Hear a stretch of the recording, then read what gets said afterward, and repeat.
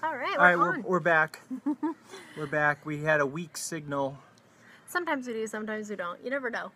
But we're here. Okay, hi everybody. 542 on Wednesday, October 19th, 2016. Just to think that uh, just a few years ago that this great nation began. Time flies. I was gonna bring Oh my goodness, time guys. flies. Okay, we got a cool topic for you tonight because I think it's kind of one that we've all thought about or have Mm-hmm. dreamt about or have done. And um, anyway, we want to see what you guys think.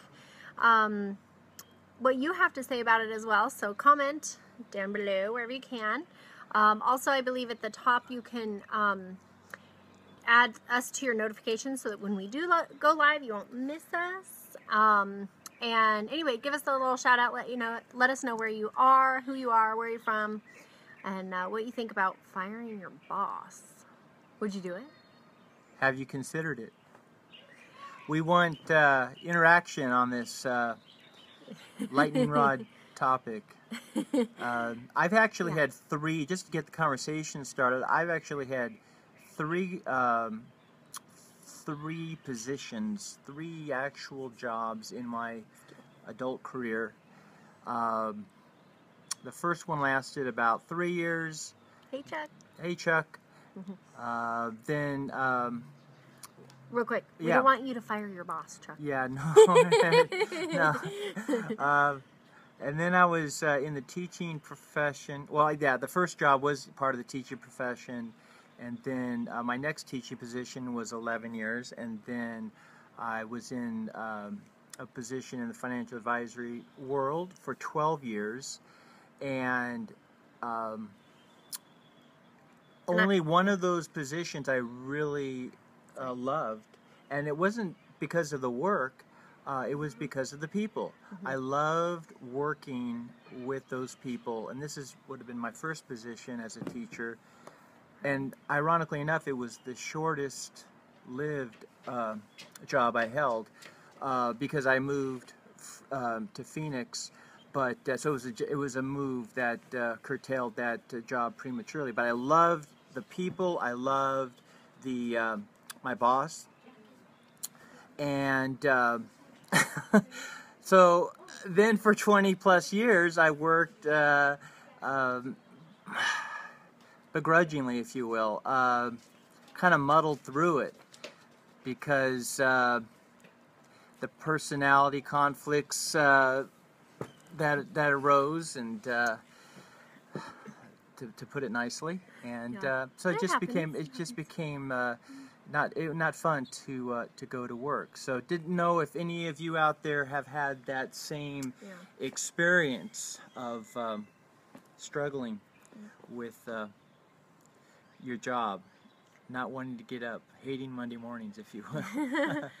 Um, I loved my job a couple times, and but you know, other things took me away from it, or um, I wanted to do other things, so I had to fire my boss.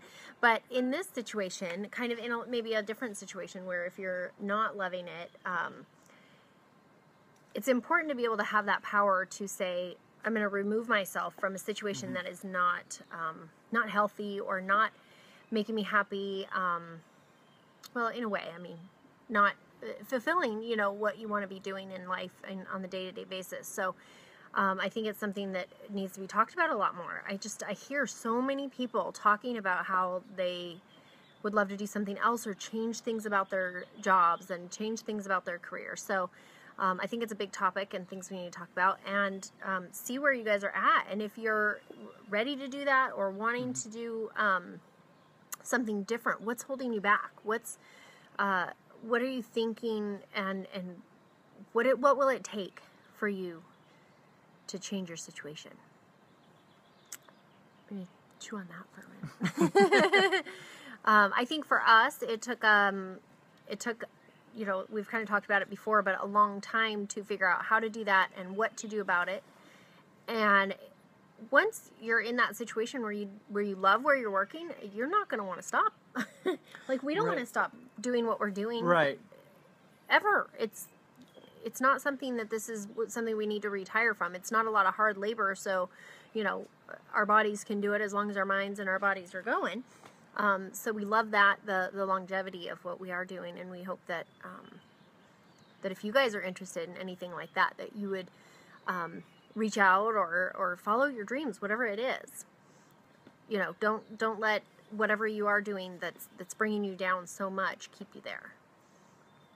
Yeah, and, and for me, it's the was the realization that, uh, uh, especially knowing I wasn't enjoying the relationship, building the uh, dreams of my boss.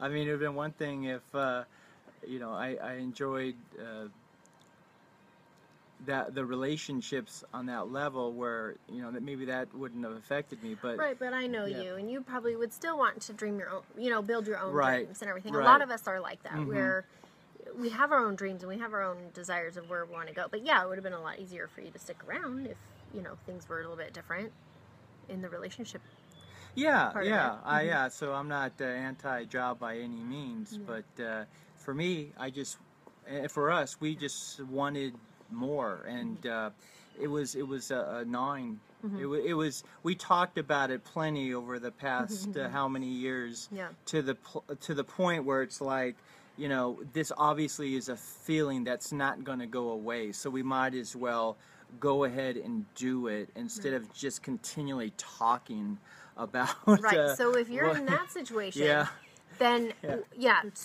think about what's holding you back what's stopping you mm-hmm. and and try to put those things in like a priority of what you can do to change them so um, for us it was you know debt we got rid of debt so that we didn't have our income didn't have to be so high when right. we did um, jump off burn the bridge kind of thing burn the boat right and that that included paying off our house yeah. um, now you know if you're in a situation where you would like to pursue your dreams by going into business for yourself, uh, but you you know have a mortgage that you can't get out from under, that it might necessitate you making a big decision and going mm-hmm. ahead and and selling your home even. And, but and just, this is, comes from the CFP, where that's not a bad idea. It's sometimes. not a bad idea. You know. you know, if that's what it takes to eliminate the debt, to eliminate the liability, to put you in a place where you mm-hmm. can then be, mm-hmm. pursue your dreams. Because work is such a, we were meant to work.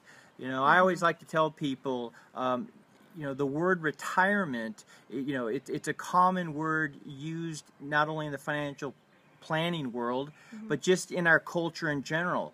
But what I like to point out to people is that the word retirement just does not exist in um, in the Bible, for example. Yeah. And I thought that was very interesting. Uh, that we're meant we're meant to work, so yeah.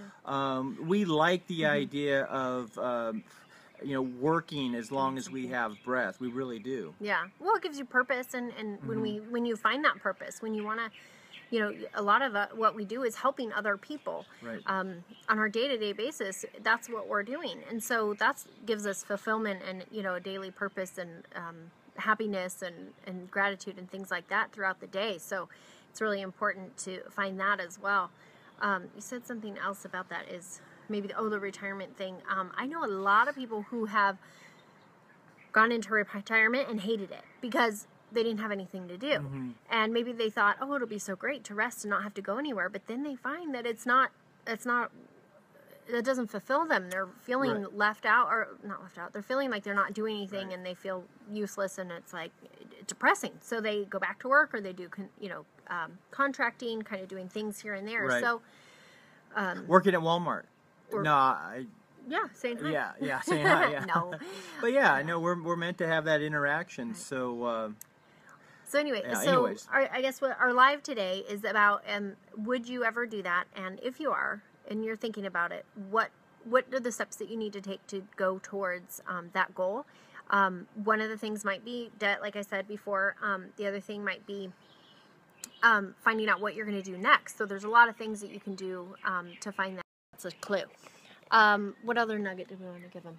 So just setting yourself up for what you want to do and when you want to do it and um, follow your dreams and, and do something about it that's what i love watching um, and learning and seeing other people do is doing what they've wanted to do their whole life. yeah lives. that's that's it that's it right there in a nutshell okay good your life's too okay, short unless you believe in reincarnation, and then you know you'll get multiple chances. Yeah, but uh, if that's not in your worldview, uh, then uh, we, one time. one time we got Okay, a one-time one shot. shot. So Let's make it worth it. Let's make it worth it. There Yep. you go. The mosquitoes are getting bad. I think we're Mosquitoes gonna- are bad. Let's let's eject. Okay. Bye, you guys. Have a great night, and we'll talk to you soon. All right, Bye-bye. bye.